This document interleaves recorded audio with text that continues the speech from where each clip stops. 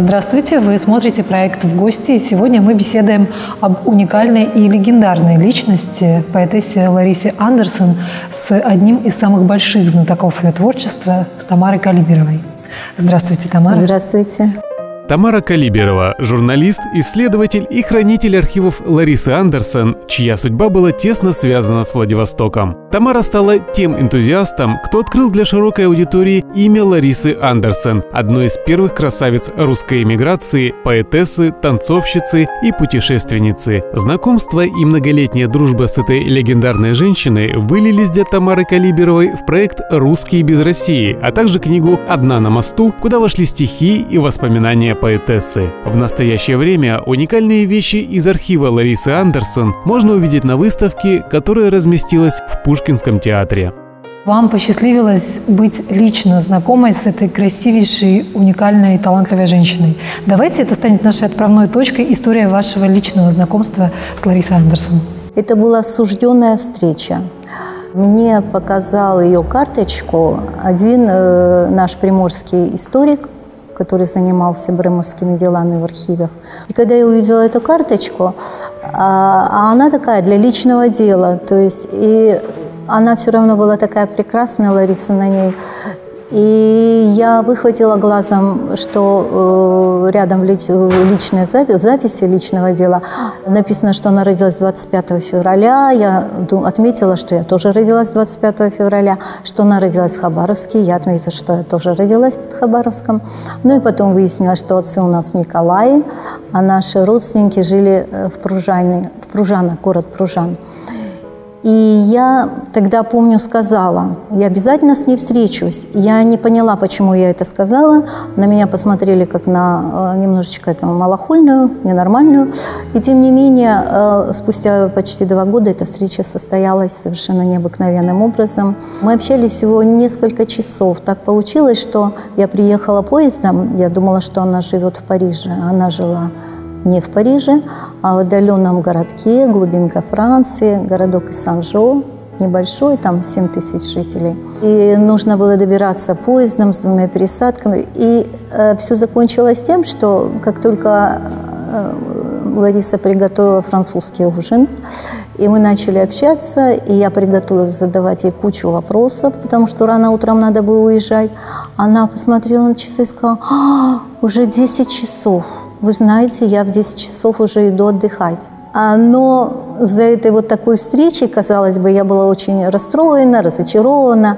Но потом последовала а, череда наших встреч в, у нее в доме, когда мы стали разбирать ее архив, и у нее уже глаза не позволяли ей это делать. И мы в течение э, практически 10 лет работали над созданием ее книги. Э, разбирали архив, читали письма. И вот действительно я верю вот в какие-то такие ну, вещи, которые просто предназначены судьбой, наверное. Если наши зрители не знают, стоит отметить, что Лариса Андерсон прожила очень долгую жизнь, 101 год. И, по сути, чисто арифметически, Владивосток занимал крошечную часть этой жизни. Но это был очень важный для нее город и важный период. Я права в этом? Расскажите, вот с каким чувством и с каким отношением она вспоминала Владивосток? Она вспоминала Владивосток с придыханием. Но еще с большим придыханием она вспоминала остров Русский. Э, потому что вот для нее это была сказка жизни. Э, она, во-первых, там научилась плавать, она безумно любила море. И когда вот мы работали над книгой, и уже все шло к завершению, она как-то закурила и говорит, я бы хотела умереть на русском острове. Но понятно, что этого не произойдет. И она написала такое пронзительное стихотворение «Я буду умирать не споря». И как раз вот на эту тему. А Владивосток она прекрасно помнила. Она здесь ходила в зеленую гимназию. Она здесь даже... И у нас вот на выставке, которую мы здесь сделали в Пушкинском театре, есть редчайшая фотография, где она в гимназической форме. Фотография Подзорова. То есть это, скорее всего, 1921-22 год. И она такая э, стоит э, красивая, строгая. И на обороте надпись моей подруги Тани от Ляли Адерсон. Потому что фамилия у нее была Адерсон, а уже Андерсон – это ее литературный, поэтический псевдоним. Андерс – это уже танцевальный и прочее. Так что она вспоминала, и причем, когда мы стали говорить, она говорит, я помню, помню, сначала идешь по Алиутской, потом поворачиваешь на Светланку, вот, э, и идешь, вот я шла в гимназию, то есть она настолько, ей хотелось, конечно, э, говорить, она расспрашивала о городе. А почему у нее не было попытки вновь оказаться здесь? Она, э, в России, она в СССР приезжала, она приезжала к тетушке в Киев три раза. Но э, вот сюда добраться, во-первых, наверное, тогда, когда она была полна сил, и, может быть, она об этом даже и мечтала, хотя она об этом не говорила, но э, город был закрыт. А потом это все стало сложнее, и самое главное, у нее была кошачья, большая кошачья семья. И она их не оставляла она их никому не доверяла. Это вот для нее были как, э, ну, наверное, маленькие дети в семье. Это действительно так. И она никуда не отличалась более чем там на 2-3 дня. Мы знаем, что всевозможные виды творчества сопровождали эту удивительную женщину на протяжении всей жизни. Она была и поэтом, и был период, когда она занималась танцами и работала в качестве модели. Что вы, как большой знаток ее жизни и творчества, выносите на первый план? Вот как вы ее определяете прежде всего? И какие свидетельства вот ее творчества есть здесь, на этой выставке? Как мы уже сказали, мы находимся в Пушкинском театре, где представлены уникальные образцы и свидетельства ее жизни и творчества.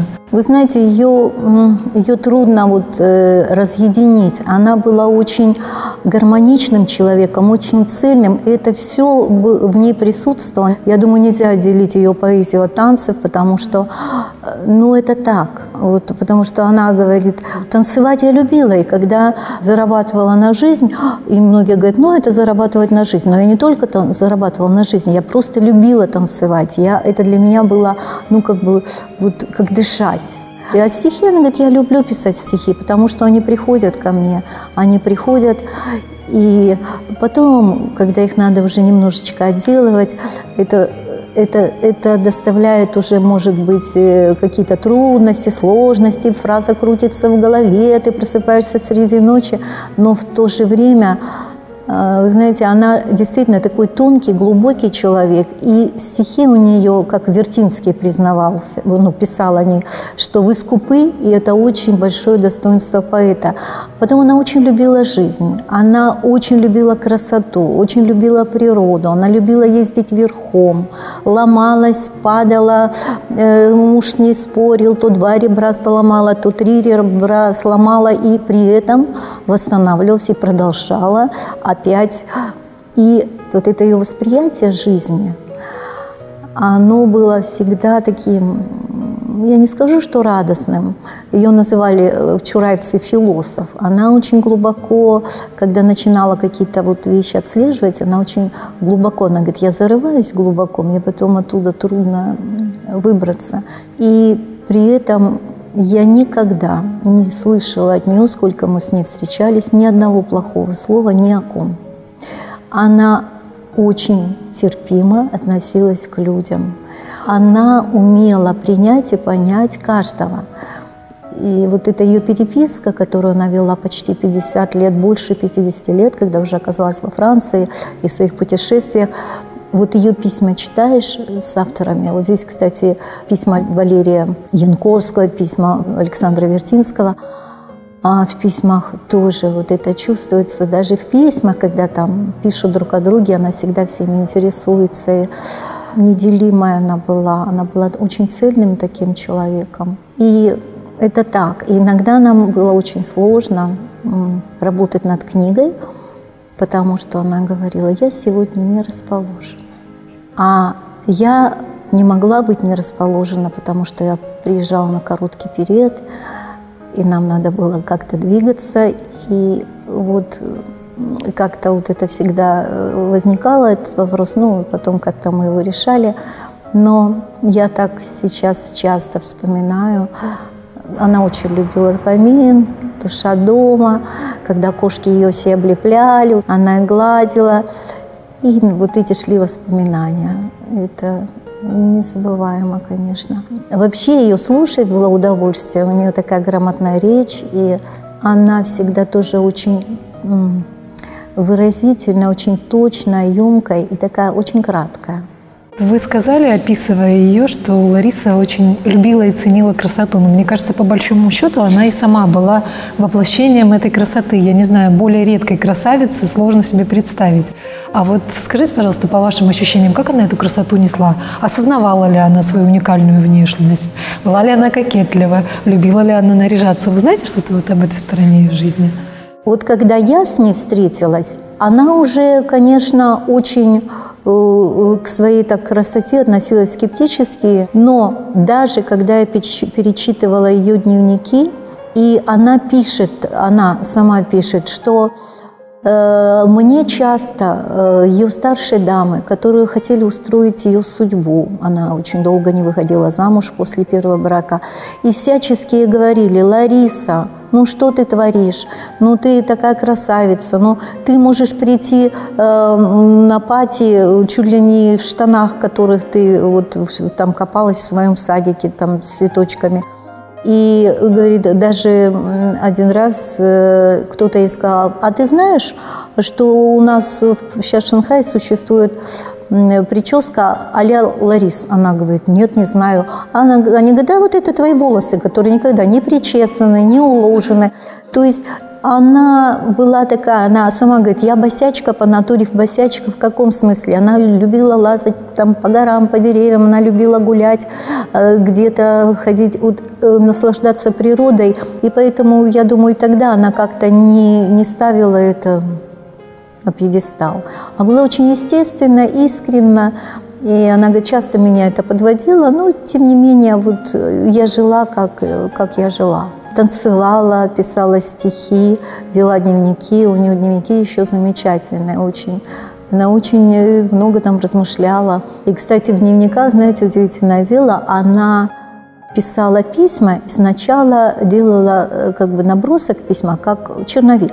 И вот в одном из дневников э, за 1938 год я вижу, написано Александр Николаевич, я, а она пишет Вертинскому. Вертинский написал Шанхая, и он ее зовет в Циндау. Циндау, 1938 год, у него есть стих, стихотворение «Ненужное письмо». Приезжайте, не бойтесь, мы будем друзьями. Нам обоим пора от любви отдохнуть, потому что уже никакими словами, никакими стихами ее не вернуть. И когда мы нашли его два письма э, вот в архиве Ларисы, и в одно из писем было вложено это стихотворение.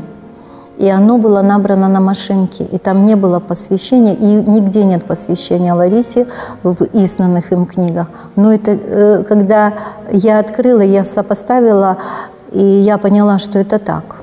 Это ей адресованное письмо, но просто он его уже без посвящения сделал. Но оно было вложено в его письмо, которое Второе письмо, которое не опубликовано, которое такое личное очень, оно, цитата его звучит у нас э, в спектакле, потому что вот Лариса сказала, что его можно опубликовать, когда не будет ее и не будет жены Александра Вертинска. Хотя там просто письмо влюбленного мужчины, который какие-то вещи про нее говорит очень правильно, он ее очень хорошо понимал.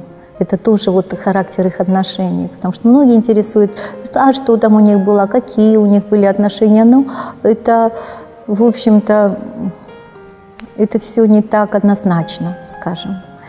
А дело, опять же, в другом для Ларисы, потому что она особенный была человек и в любви, и в, как, и в дружбе, и в отношении к людям. Не уставала ей вот восхищаться, удивляться. А потом, когда мы познакомились э, в 97 году, это ей было 86, 86. И э, когда она стояла на голове, она садилась на шпагат, она же йогой очень много занималась. И у нее отношение, вот это, видимо, йоговская еще э, привычка, и медитация. Утром у нее вот она не разговаривала, очень мало говорила. Она была как-то вот сама с собой. как бы к чему-то прислушиваясь, о чем-то там думая. А потом уже какой-то такой начинался разбег дня, уже шли дела такие обязательные, та же книжка, которая наворчала иногда. Ну а что делать? А сначала это было отдано вот как-то так, как будто она отстраивала себя внутри, вот знаете, настраивала на этот день. И вообще она могла молчать и не тяготила это вот как-то совершенно. Вы уже в своем ответе упомянули, что помимо выставки здесь в Пушкинском театре будет представлен и спектакль который, собственно, так и называется «Лариса». Один спектакль, конечно, вобрать в себя все аспекты жизни не может. Вот каким образом вы выстраивали именно образ спектакля? Как он на что он опирается в первую очередь? А, вы знаете, идея спектакля принадлежит Виктории Василькевич, а, актрисе, она режиссер театра-студии «Окно». И сначала мы э, так выстроили э, нашу работу. Я просматривала дневники и старалась выписывать эм, а, там эм, не то что фразы, но даже отдельные куски, чтобы э, говорил, это как будто говорит Лариса. Она действительно, это ее язык, ее мысли. Там очень много действительно спектаклей из фраз, которые Лариса говорит от первого, как от первого лица. Да? Но выстраивала всю, так сказать, ход этот сделала Виктория, предложила. Она вот ход сделала, что это встреча Э, Ларисы, журналистка из Владивостока. И в эту канву укладывается отношения с Вертинским, с Граниным, идут воспоминания. Вот поэт, который в него был влюблен, и трагически закончилась его жизнь. Там звучит много стихов, есть э, хроника хорошая, дореволюционная Владивостока. Есть много фотографий, которые идут на экран. А есть э, два реконструированных танца. Танец Ивушка и танец шарфом. Реконструкцией занималась Виктория Волкогонова, доцент кафедры сценического э, движения и танца нашего Института дальневосточного искусств. Это была огромнейшая кропотливая работа. И смогли мы ее сделать, потому что в Ларисином архиве сохранились нотные записи танца и описание она от руки. Вот вы увидите Ивушку, вот здесь вот она в одной из витрин представлена. И Виктория все это пошагово, выстраиваясь, привлекла Леонида Букина, который, естественно, музыкальную часть э, делал. И все это сложилось, и Виктория Волкогонова танцует – на сцене, она их показывает, эти танцы. Эти танцы мы можем увидеть такими, каких придумала Лариса. Когда я готовила материал для большой статьи, вот именно о танцевальной жизни, я насчитала, то есть очень много всего пересмотрела, около 80 танцев известно, которые она танцевала в Шанхае, не только авторские, разумеется. И она была такой, она характерная, танцовщицей была, и она была такая, она очень любила экзотические танцы, и она в оперетах, когда выступала, э, Росмари, Балсовой, э, вот гавайские, гавайские вот эти танцы, они ей очень удавались, потому что в ней вот это была э, ну, как современники говорили, а Лариса вся огонь, вся истома, вот она могла такое вот, вот тело, она говорит, когда я начинаю танцевать, каждая клеточка у меня знает свой порядок. И она безумно любила танцевать. И я рада, что мы сделали этот спектакль, потому что ну, это непростое дело. И она, Виктория вот молодец, что она вышла как-то там с этой идеей. И очень это волнительно, и очень всегда волнуюсь я, э, когда смотрю, потому что для меня вот это э, какой-то вот новый, новый такой подход к теме, если это можно так выразиться. Первые премьеры приняли очень хорошо. Вообще можно с удовольствием отметить тот факт, что в последние годы интерес к жителям Владивостока начала XX века очень возрос. И интерес к семье Янковских, и э, Юл Бринер, да, и семейство Бринеров, и, собственно, Элеонора Прей, и вот Лариса Андерсон, я надеюсь, также станет одним из главных символов Владивостока. Вот не было ли идеи создать, может быть, маленький какой-то музей или постоянную экспозицию, или что-то, какой-то уголок, который бы вот постоянно нес в себе информацию и память о Ларисе Андерсон. Вы затронули самую болезненную для меня тему, как болезненную. Я, конечно, мечтаю о том, чтобы э, появился музей Ларисы Андерсон э, во Владивостоке. Может быть, на базе Музея русского зарубежья, о котором мы давно говорим, потому что Владивосток – последняя точка исхода да, русских в эмиграцию. Но очень хочется, чтобы он стал Владивосток и точкой возвращения, потому что это спектакль ведь об эмиграции, о нашей русской эмиграции в Китай, о той, о которой мы ничего не знали. Мы возвращаем из забытия эти имена, эти фамилии, э, мы ну, с того света их возвращаем, потому что кто знал Гранина, кто знал Сергина, и сейчас их никто не знает. Николая Щеголева, Василия Логинова. Вот эти имена нам ничего не говорят. Это были прекрасные поэты, не говоря там Арсений Несмелов. Да, да мы его знаем. Валерий Перелешин, конечно, мы ему отдаем долг. Марианна Колосова, это понятно. А сколько их еще было? И скольких э, как бы перечеркнули черным крестом, и мы знаем, а мы должны все-таки вернуть их, вернуть в Россию. И от этого мы станем только сильнее, крепче, мудрее. Я так думаю, что надо это... Красные и белые у нас пока так, к сожалению, это деление на красных и белых, оно еще не ушло, это еще болезненно, это еще болит, но нельзя, нельзя нам разъединяться, нам нужно объединяться, потому что разъединяться все равно, что лететь с одним крылом.